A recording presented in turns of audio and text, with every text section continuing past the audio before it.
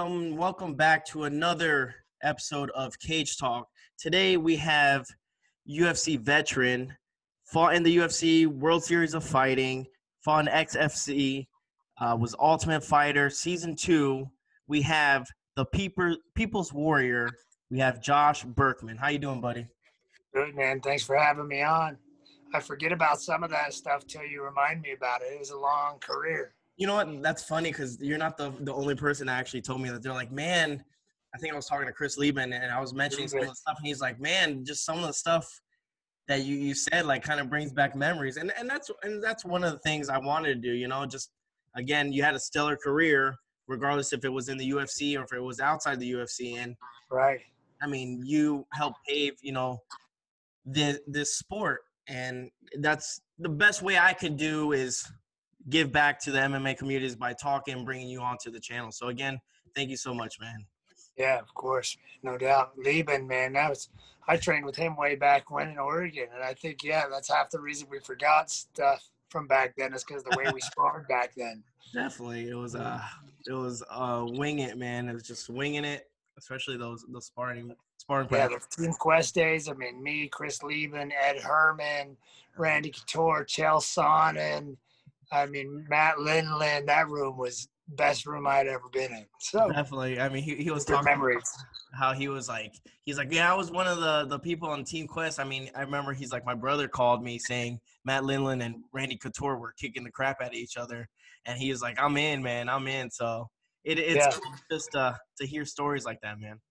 Yeah, I mean, they were in a garage in the back mm-hmm. of a car sales lot that ended up being what Team Quest was, you know. Definitely. So, so it, I showed up and was like, "This is the gym, huh? Okay, let's go." That's it. There man. was more sweat and blood in that room in a vicious way than any other room, man. But it was such a brotherhood that was created, and we all made it. We all made it. You Definitely. know.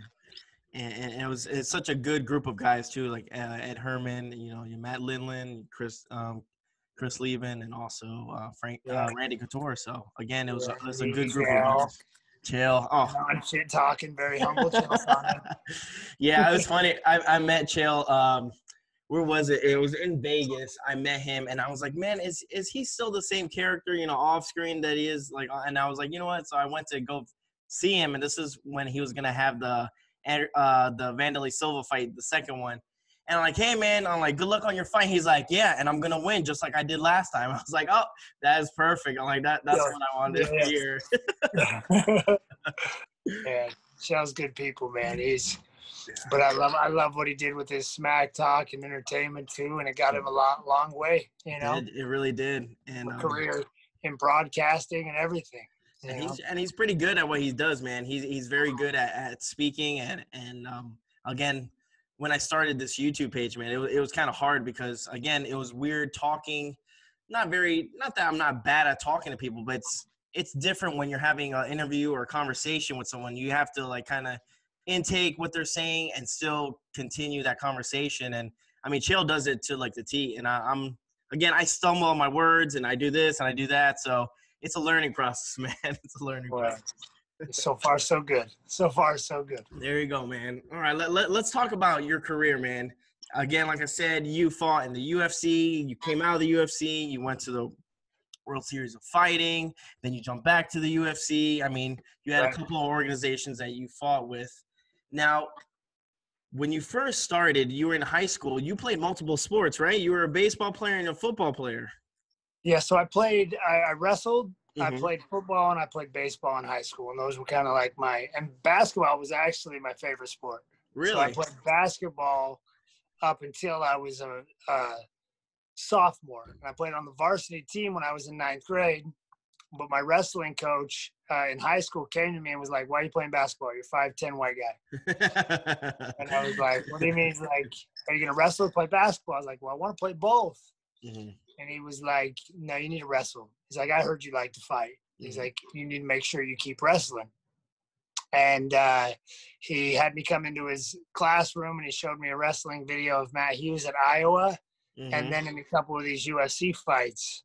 Okay. And I was like, I'll see you wrestling practice. And that was during it. baseball season, but that was what made gave me the that's what helped me make the choice to be a, a wrestler in high school, which is really my you know original background in martial arts and and what I initially started my professional fight career with just wrestling training.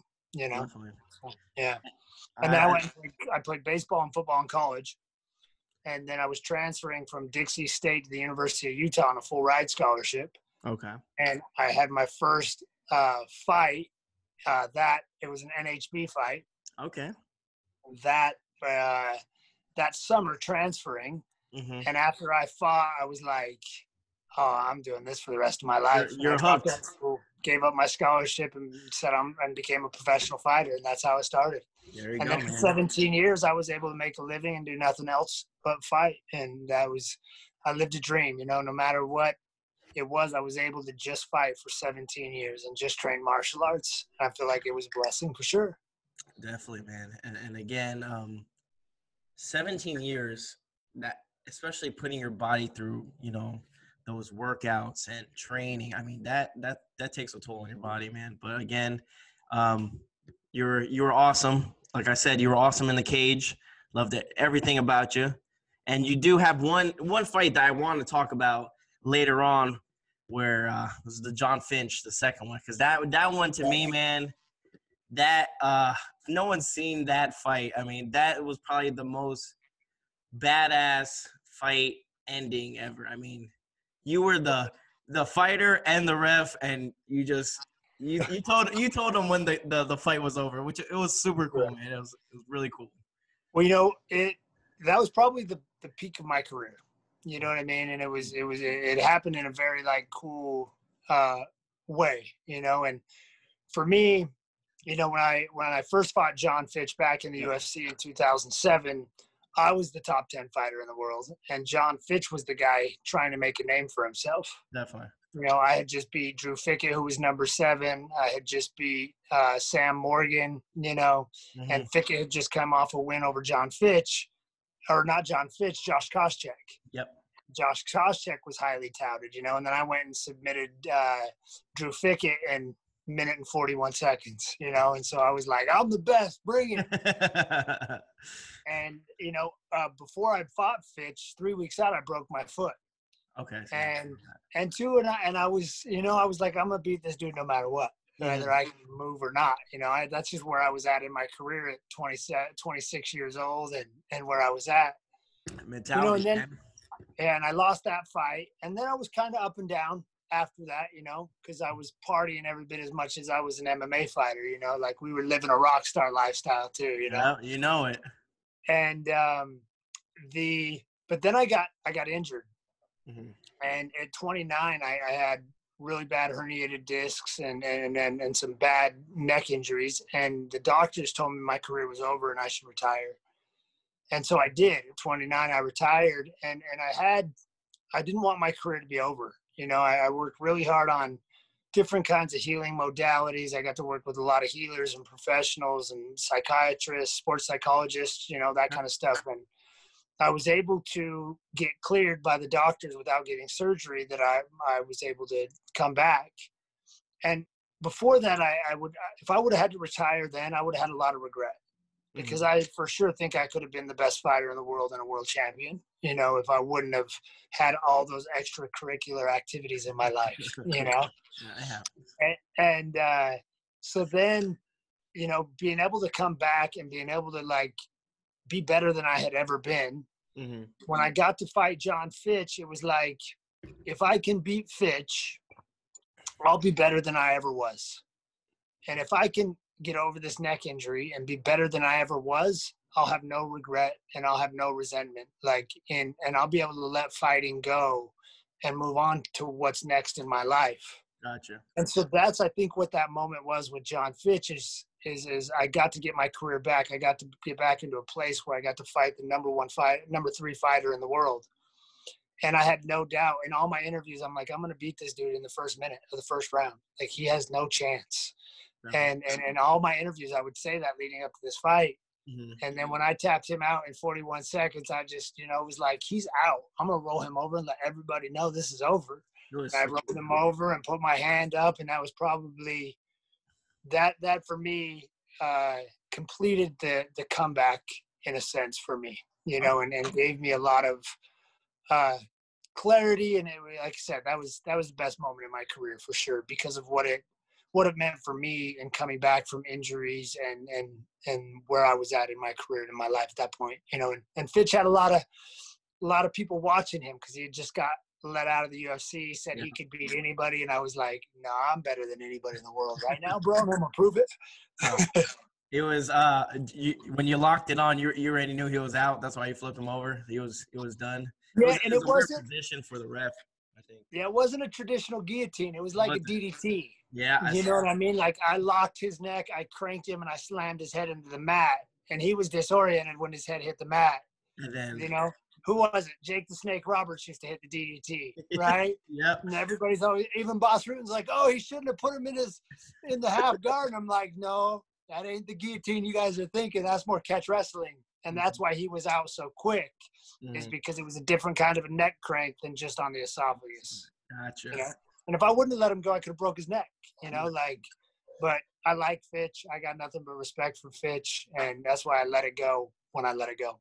I mean, regard it just shows you you're again like you're a class act. I mean, and it just everything fell into place in that fight, right? And Absolutely. Just, I mean, it just again that's one of the like the I, I have that picture of you just standing over with your hand. It's just it's just a badass moment. It's like something from a movie, man. It, it, was, like I said, that was you know you see that picture of Ali where he's standing over this in first minute, first round.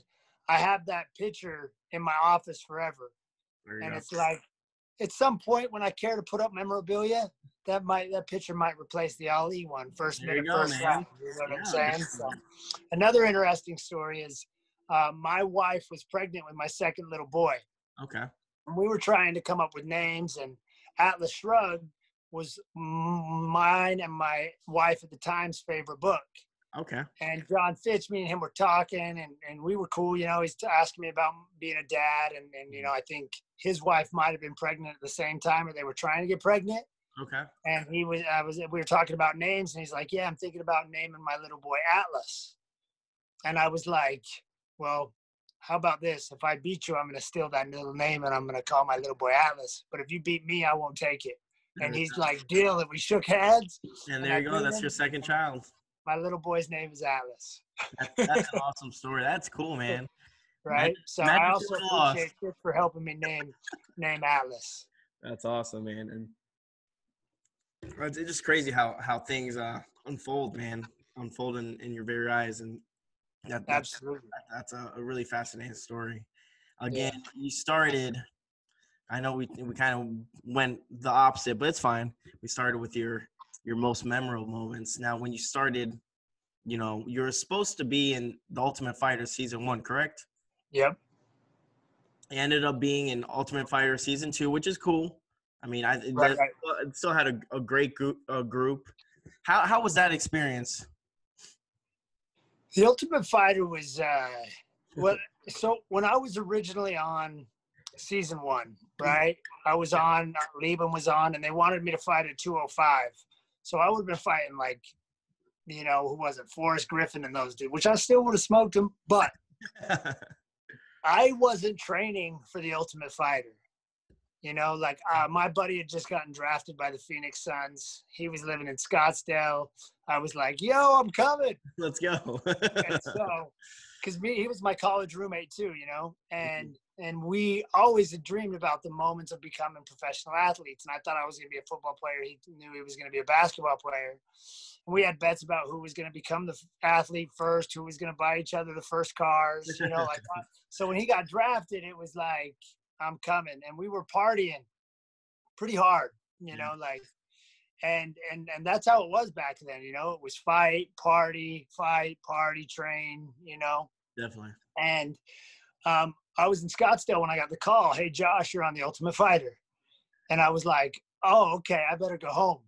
so I ended up going home, and I had like three weeks to train. And my buddy was like, you know, I was like, man, I'm I need to like get in shape quick. And my buddy was like, you should take some Winstrol. And I was like, yeah, yeah, I should for sure. there it is. There was in the early days there was no tests. You know, it was like it was free range. It was it was different. And when I got there, they told me that they were testing, uh, that, that they weren't testing us.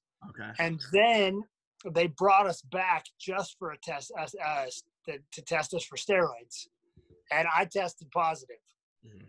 But I told them when they tested me, I'm like, yo, listen, I'm going to test positive for cocaine, marijuana, steroids. They're like, well, just take the test. And they're like, what have you been doing? I'm like, not training for a fight. You know, I was like, and and for me it's easy I, you know i'm i'm very like clean living holistic now and it's easy for me to talk about those things because there's a lot of lessons and things like that in in in my shortcomings you know and as there was with the ultimate fighter so um, i packed for ultimate fighter one i was on my way to the airport mm-hmm. and craig Piligian called me and goes you didn't pass your tests and i so i was getting i mean i, I told my whole high school football team I'm leaving. I'm going to be on the Ultimate Fighter. Oh wow! And then I wasn't on. They told me I was off, and, and I had to go home and I had to explain to my family. I had to explain to my athletes at the, on the football team, everybody that like, listen, I'm not going because of the choices that I made. And um, at the time, they weren't testing, and I didn't, you know, like like I said, it was it was a different situation, but it was kind of like what really helped. Um, I think like stabilize the sport and help it grow was like the, that kind of testing in the UFC, you know.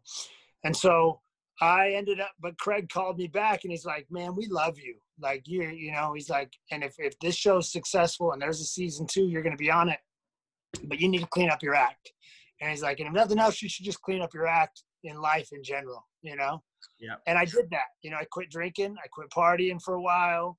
Um, and I really like got focused that there was going to be a season two. And um, I took a couple more fights, won those fights. They said they called me up, said there's going to be a season two. We want you on at 170 pounds, and I was like, let's do it. And and then I got to go on. And when we first got there, I was like, okay, there's some tough dudes here. Mm-hmm. And then we started training, and I got to train with Melvin and Joe Stevenson, and I threw those dudes around, you know. And and and Matt Hughes was like, "You're gonna win the show," you know. He's like, "I'm gonna pick you to get on my team."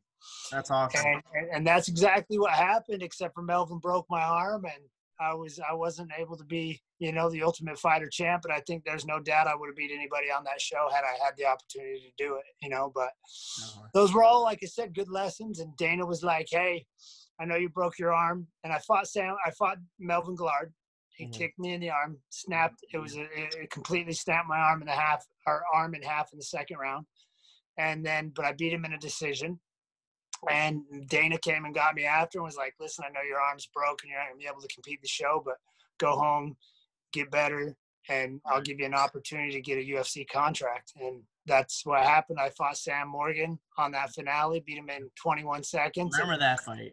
Yeah, that was that was a good moment too. You know, yeah. like that was 25 year old kid getting an opportunity to get a UFC contract, and I put Sam Morgan out in 21 seconds. You know, so that was that was every bit as equally as cool as the moment of beating Fitch, except for a different kind of reward. You know what I mean? Fitch was more coming back from struggle, coming back from from it being over, and Sam Morgan was like, nah, starting off, like yeah. I deserve this. I'm gonna beat this dude.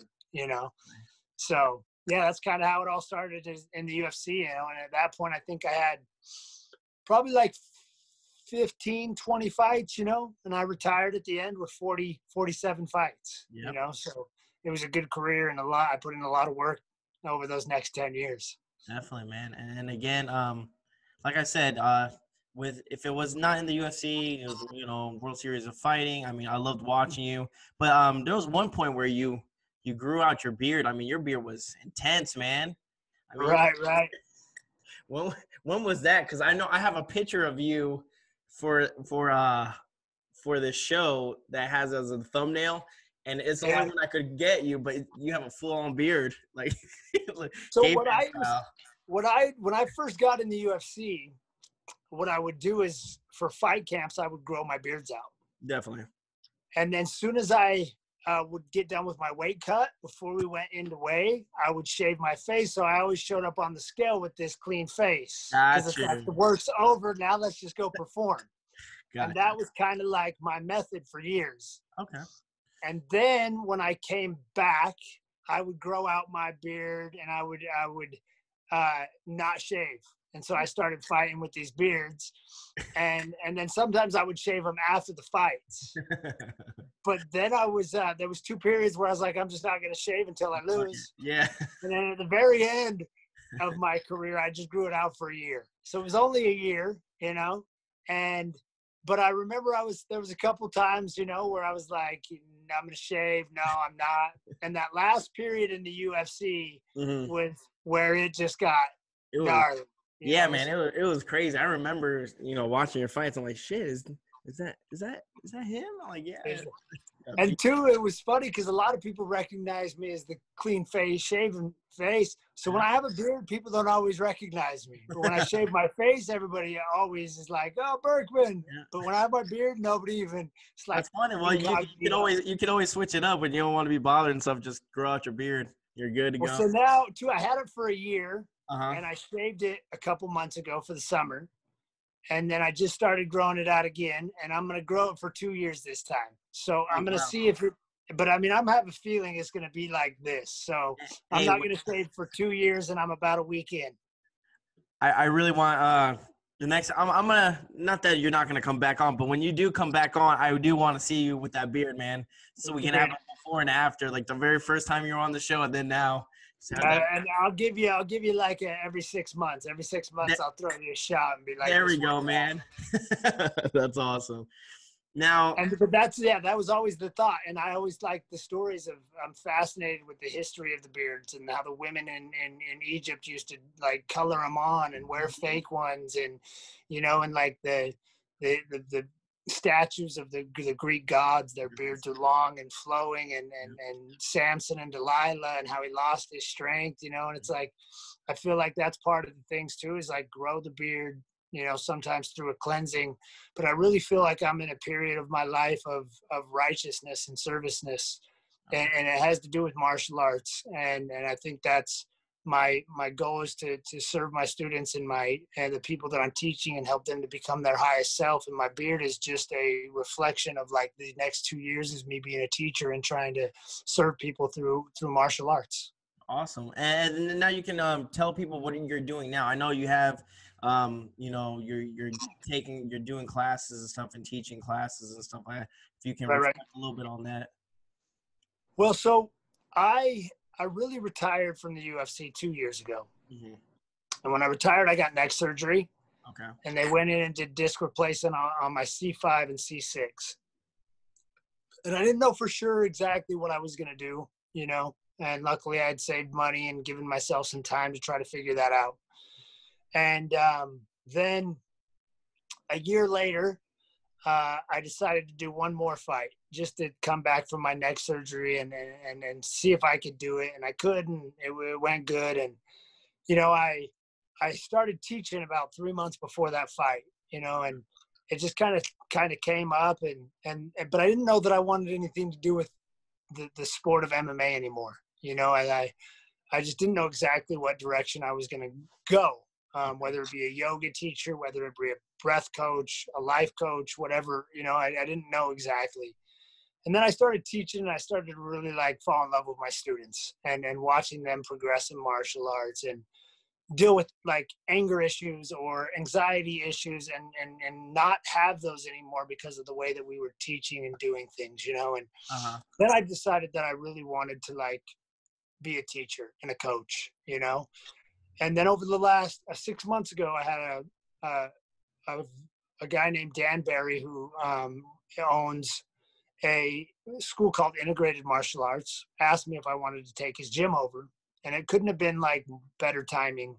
Period, you know. Mm-hmm. And so I took that gym over about six months ago, and we were really building some steam. And then COVID hit, and then when the COVID hit, I was just like, really, what I want to do is I just want to hang out with my kids, you know and so I started some kids camps, and um, but part of what I wanted to teach was teach people. When I hurt my neck, I got to go through um, basically the the um, Nevada Institute of Sports Science did a case study on me about trying to heal the vertebrae in the neck and the nucleus and and all this, and we did it through a holistic lifestyle, a raw food diet, breath work, and the optics, right? And it was amazing to me that all this information was out there and yet nobody had ever taught it to me. And and so i went and also found um, i don't know whether i found them or they found me but i've found over these last five ten years uh, traditional martial arts teachers that, that we talked about like the honor and the virtue in martial arts and and and also how that surpasses technique and the life force within the body and and all those things you know and so i started teaching martial arts in a more traditional way. And and i really was uh, focused on teaching kids. And so now i'm running adult class and kids classes. But we talk about meditation we talk about breath we talk about posture and then how martial arts, yoga, and mobility help in those things. And I've went and got a yoga certificate, a certified yoga certificate from Budokon, uh, which is a full martial arts system of mobility, yoga, and then all the traditional martial arts. You know, and I've done a, got a mobility certificate, and I think my, you know, and I also went and got my black belt from Dan Barry. Um, and now we're just you know we're doing that and what we're doing now is we have a 501c3 a nonprofit called caring for kids okay. And we're really my goal in the end is to get martial arts training for kids all over the state of utah for free. Um, and then we're also have a private school that we're starting where kids are going to come in we start in september for kids that are being homeschooled because a lot of kids are going to homeschool now with covid-19 so basically, my goal is to start a modern day Western Shaolin temple where these kids. They come in and this is what they do now and this is what they'll do in September mm-hmm. is they come in and we start with meditation and breath work. And after we do the meditation and breath work we do uh, mobility animal movements crawling patterns which are all basically like animal movements and jujitsu shadow boxing gotcha. right? Different ways of moving without just by yourself you know? And then um, after they do that, we play Nerf guns or water guns, and uh, they get to play a little bit. This is my new cat. He just showed up. There we go. Look at that. this is Tiger. My boys talked me into getting Tiger the other day. Well, there you go, man. So, now I did see yeah. something on your Instagram. Now it it was something I don't know if it was the what you were doing now or it was maybe like it was it looked like it was almost like a cabin out in the woods. Right, right. What was that about? Because that looked really cool. Because again, there was a big living room. It was just all mats, and there was a bunch of people. I was like, man, that looked cool. And then there was like campfire, and people were ma- you were making s'mores. I was jealous. I was like, damn, I want to do that. Right.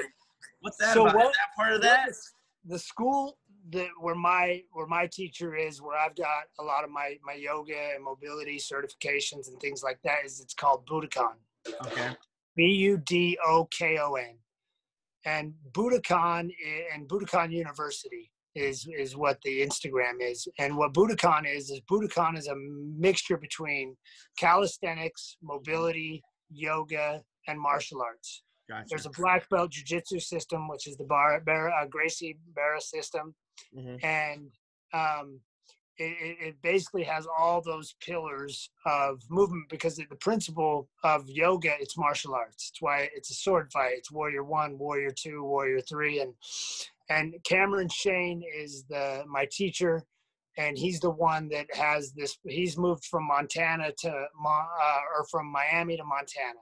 Okay. And he bought a little a piece of property there and they got a retreat center and really anybody who's interested in yoga martial arts and and, and movement in general um, should should look into it. And it's they have a it's at the glacier national forest and it's a pretty incredible thing. So you can just look up budokon and kind of see what that is. And that's what's given me the idea. I've always been a yogi and i've always been an athlete and i've always been a martial artist. Well not always been a martial artist. I was a fighter. Now i'm very much more a martial artist and that's that's what I teach is is is under this Budokon system, and and and that's what it is. And then that's what we're gonna do with these kids too. You know, they come in, they do their meditation, then they do their mobility. After they do their mobility, they do their martial arts, and then they do their yoga, and then they go and they grab their computers and they get on the mats and they do two hours of their online homework. So they're doing lots of movement. It's a movement school.